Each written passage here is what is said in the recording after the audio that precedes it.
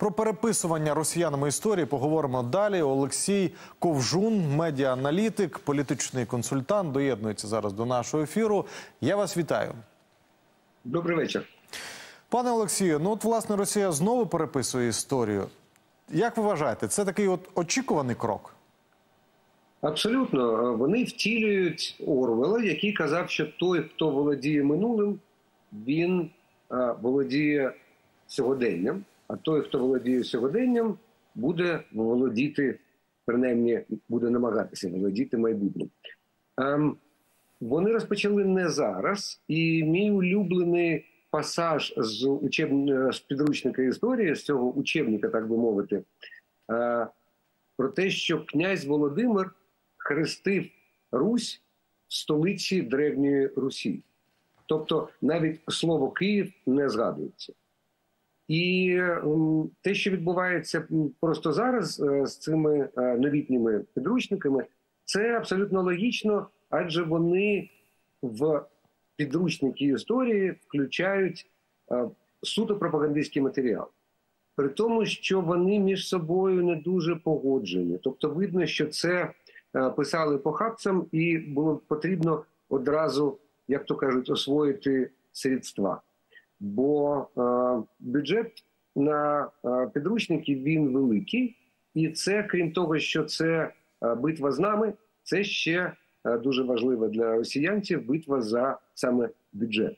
І тому потрібно було видати якомога скорше цю всю історію, і воно так навіть не, причесано і виглядає ну так, таким маренням температурного хворого. Тобто виходить, що це е, ще один такий е, пропагандистський е, виток, якщо можна це так назвати, пропагандистські, пропагандистська методика для того, щоб промивати от молоді уми. Е, Нещодавно підняли журналісти-розслідувачі, підняли е, могильні таблички в Криму, де ми бачимо досить молодих людей, що загинули е, з російської сторони, які були громадянами України, яких приєднали в підлітковому віці до е, росіянців абсолютно незаконно, а потім забрали в армію. Ми пам'ятаємо, так робили в середньовіччі, а зараз це вважається злочином проти, проти людяності. Але маємо е, згадати про те, що війна триває не з 24 лютого, а вона триває вже понад 9 років. І ті, хто пішов в перший клас, коли вона почалася, школу вже закінчують. А ті, хто закінчували школу, вони вже дорослі люди з дітьми, і е, всі 9 років їх довбали цією пропагандою. А на молоді розуми, які намагаються думати про своє, про молодіжне, про дівчат, про пиво, про майбутню кар'єру. А тут ще традиційна російська історія я вне політики. І те, що їм кажуть, оця вся пропаганда, вона не проходить через фільтр критичного мислення. І просто сприймається, що це отак. Тобто Володимир хрестив Русь, столиці тогочасної держави, ну і слава Богу. Ем, Україна неонацистська держава, а блокада е, росіянської економіки є незаконною. Ну окей, ми ж вне політики. І таким чином вони готують е, з наступного покоління нове і нове гарматне м'ясо. І єдине, що може зупинити цей жахливий процес, це Збройні Сили України. Ну, до речі, ці ж підручники вони для 10 і 11 класів. Тобто, ну вибору у цих дітей можна сказати не буде. Рік-два, і вони теж будуть е, брати автомат в руки і йти помирати за Путіна. Абсолютно. Я пам'ятаю ще з совєтського часу, що в 16 років іде так, так звана приписка до воєнкомату, і е, люди вже, молоді люди вже е, знають, їм сказали, в яких військах вони будуть служити. І те, що вони вчать на уроках історії, це, так би мовити, виправдовування і заклик вбив- йти вбивати українців. І це, ну, це суцільний жах.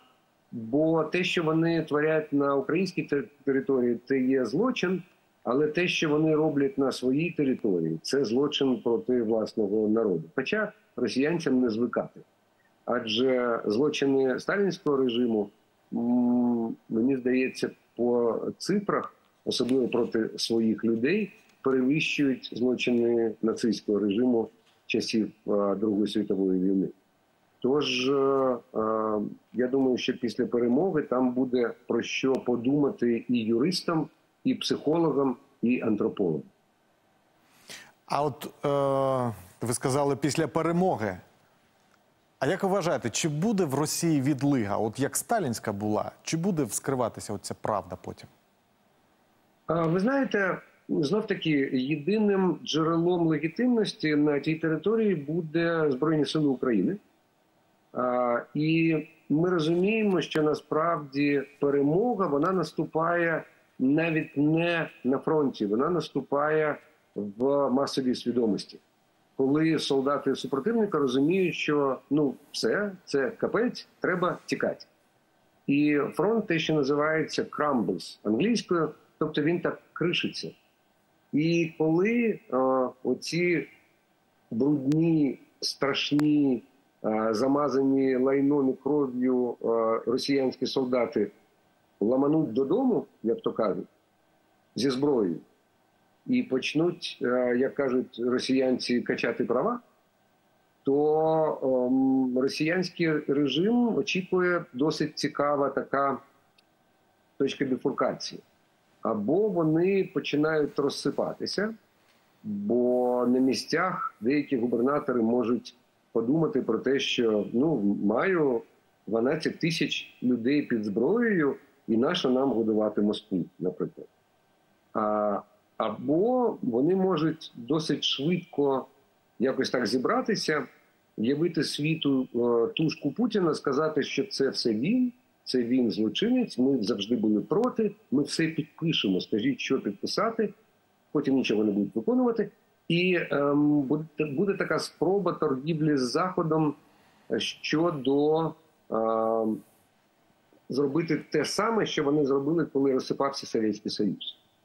І тут багато залежить від, наших союзників, але навіть при такому розкладі, який для нас не є оптимальним, адже якщо ми не візьмемо, не візьмемось наводити лад, не візьмемось наводити, адмініструвати ту територію, з якої виходить загроза, то е, наступна війна стає досить реальною років за 10-15, коли вони трохи обростуть жирком.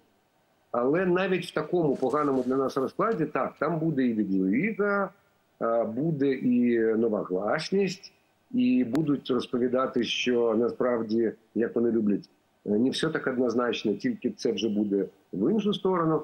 І е, в цьому поганому розкладі ми побачимо якогось Соловйова, який е, буде е, страшенно клейміть е, якогось там Суровікіна чи кого вони призначать злочинцем відповідальним за це все. Бо вони не боже мой, вони просто журналісти, ем, економісти, банкіри. Вони просто робили свою роботу. І при тому, що ми маємо пригадати, що з часів е, Нюрнберзького трибуналу оця історія я просто робив свою роботу і виконував накази. Вона вже перестала, як кажуть, канець за отмазки. Це вже більше не є виправданим. Дякую вам дуже, пане Олексію, за цю цікаву розмову, за те, що ви знайшли можливість доєднатися до нашого ефіру. Гарного і тихого вам вечора. Нагадаю, це був Олексій Ковжун, медіа-аналітик, політичний консультант.